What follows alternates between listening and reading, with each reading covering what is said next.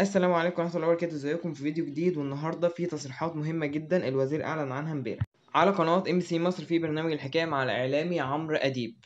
كان بيتكلم بقى عن نسبة لموضوع المدرسة والكورونا هل بقى السنة الدراسية الجديدة هنروح المدرسة ولا إيه النظام؟ لا الع- ال- الناس هتجيلها كورونا. فطبعا لازم ناخد الإجراءات الاحترازية. افرح بقى يا عم مفيش مدرسة. مين؟ مين اللي ملهوش مدرسة؟ هفهمك كل حاجة. عندنا KG 1 و KG 2 واولى ابتدائي وتانية ابتدائي دول لازم يروحوا المدرسة لأنهم ما عندهمش خبرة بالإلكترونات أو ما عندهمش خبرة بالنسبة للتابلت بالنسبة للتلفزيون إن هم هياخدوا الدروس أونلاين ما عندهمش خبرة الموضوع ده. فدول لازم مش المدرس يشرح لهم face to face طيب بالنسبة لثالثه ابتدائي رابعة ابتدائي خمسه ابتدائي ستة ابتدائي أولى وثانيه وثالثه إعدادي وأولى ثانوي وثانيه ثانوي نقف عن ثانية ثانوي. هناخد كل الحاجة اونلاين كل المناهج اونلاين يعني مفيش مدرسين ليهم لازمة عربي إنجليزي الحاجات دي مش موجودة في المدرسة. هتذاكر مع قناة مصر التعليمية اللي على اليوتيوب. بصراحة قناة رائعة جدا جدا جدا. والمدرسين اليوتيوب اللي كنت اتكلمت عنهم في حلقة هيبقى في منصات اللي هو زي بنك المعرفة و Edmodo وهتنزل لكم طريقة الاستخدام إزاي. يعني التعليم الإلكتروني والأونلاين مش وحش خالص بس أنت محتاج تركيز شوية. وعلى فكرة الوزير كده بيعمل الصح. الكلام ده هتفتكروه في مستقبل التعليم بعد كده.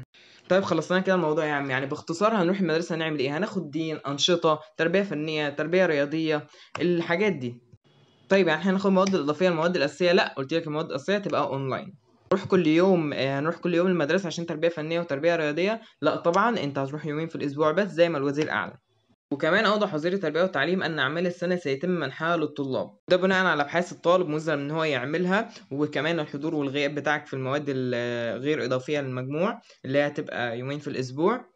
مش عارف هيعملوه إزاي يعني. ليك متابعة أو إكزامز على المواد اللي تم شرحها على القنوات التعليمية اللي هي قناة مصر التعليمية وجميع المنصات التعليمية. هيبقى ليك متابعة علشان تحفظ وتذاكر. أشار وزير التربية والتعليم أن الهدف من ذلك هو أن تكون مصر مستعدة لأي مواجهات وإن هي تكون مستعدة لأي حاجات جديدة هتتعمل إن شاء الله. عشان كمان ما تكونش المدرسة هي الأساس للتعلم مثلما كان في السنوات الماضية.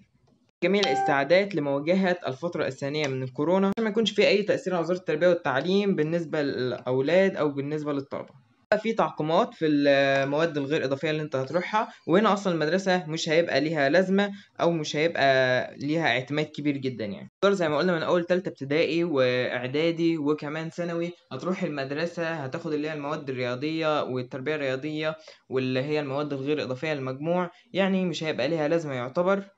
هي بقى مهمة جدا جدا واتكلم عنها الدكتور طارق شوقي إن هي مناهج الصف الثالث ثانوي. ومنهج أولى ثانوي وثانيه ثانوي ثابت زي المنهج القديم. لكن بالنسبة بقى المنهج بتاع نقول برضو من المنهج بتاع KG 1 و KG 2 وأولى وثانيه والثالثه ابتدائي هيتم التغيير. لكن بالنسبة بقى للمنهج بتاع تالتة ثانوي بتاع تالتة ثانوي دفعة 2021 اللي ذاكروه ده خلاص.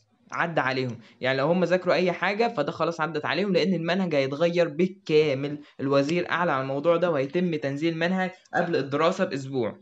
يعني هينزل في شهر عشرة إن شاء الله تقريبا عشرين عشرة أو مش عارف إمتى عشرة بالظبط بس هينزل في شهر عشرة قبل الدراسة بأسبوع.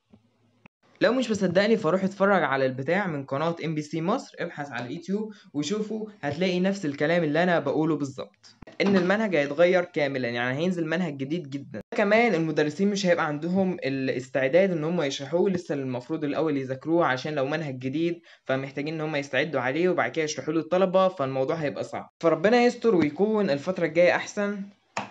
أول مرة تشوفني انزل أعمل like وكمان subscribe عشان يوصلك كل فيديو جديد. وإن شاء الله هتابع معاكم بأي حاجة جديدة هتنزل على الوزارة أو هيعلن عنها الدكتور طارق شوقي وزير التربية والتعليم. متنساش ال like وال subscribe وكمان ال share. والسلام عليكم ورحمة الله وبركاته. أشوفكم في حلقة جديدة.